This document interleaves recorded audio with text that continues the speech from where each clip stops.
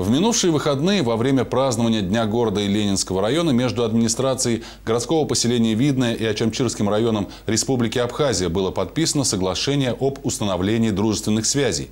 Абхазская делегация была приглашена на нашу землю и приняла участие в праздничных мероприятиях.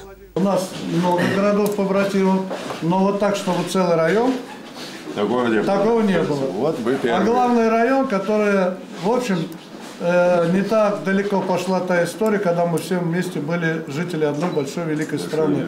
Руководство обеих сторон планирует развивать и укреплять межгосударственные российско-абхазские связи, производить обмен опытом и культурой. Теперь между муниципальными единицами будут установлены партнерские отношения в области экономики, спорта, сферы искусства и органов местного самоуправления.